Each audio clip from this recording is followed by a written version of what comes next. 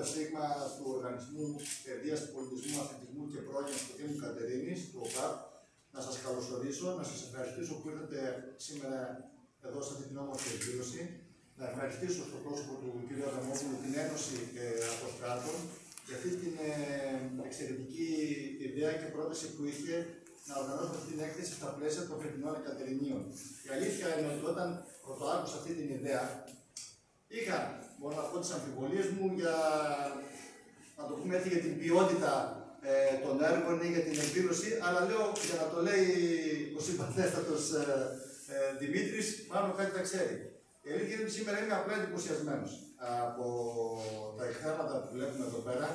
Ε, βλέπουμε μια άλλη πλευρά των ανθρώπων που τους έχουν μάθει σαν ένστολους να ε, επιβάλλουν κανόνες τάξη ε, πειθαρχία, να έχουν έτσι ένα πιο αυστηρό πλαίσιο μέσα από την επαγγελματική τους διάσταση. Και εδώ βλέπουμε ένα άλλο πρόσωπο, ένα πρόσωπο ευαίσθητο, ένα πρόσωπο δημιουργικό, ε, με τελείως άλλη προσέγγιση των πραγμάτων.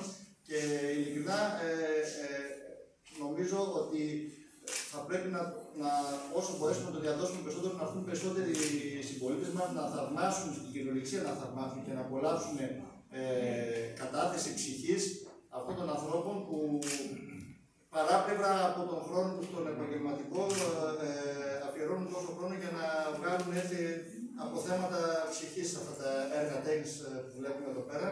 Ιδιαίτερη προφανώς ε, γωνιά σε όλη την έκθεση κατέχει και τα θέματα του συντοπίτη μας, εγώ θα τα λέγαμε το γιατί το πέρα, το πέρασμα, το πέρασμα, το πέρασμα του ήταν, ε, το θεωρούμε ότι είναι πλέον συντοπίτη μας με τον τρόπο που πέρασε και έφυγε από το δίκτυο.